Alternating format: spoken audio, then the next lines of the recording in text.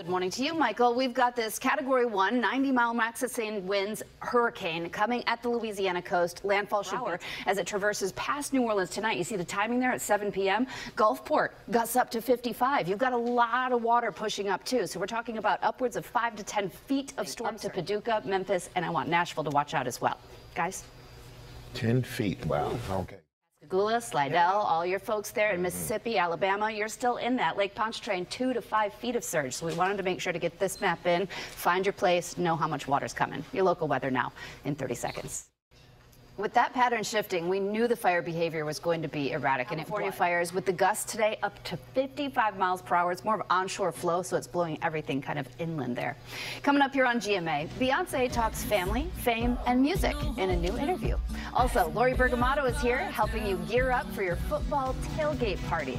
Everybody's into the football right now. My son, too. Can't wait to see that and more, plus your local news and weather. They're next want a Taylor Swift jersey. I'm ready. Let's thank you so much.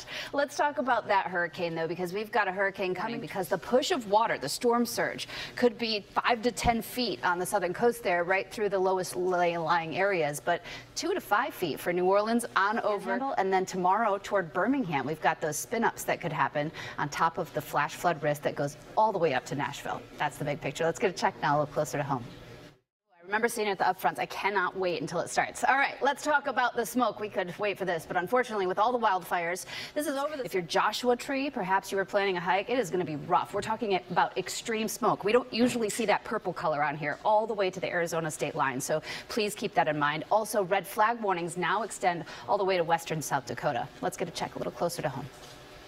A lot of wise words there. And Damar, Make Michael pay for dinner. You're man. You're a good man. oh, thanks so much for watching, everybody. All right, everybody. Have a great day. Make him pay.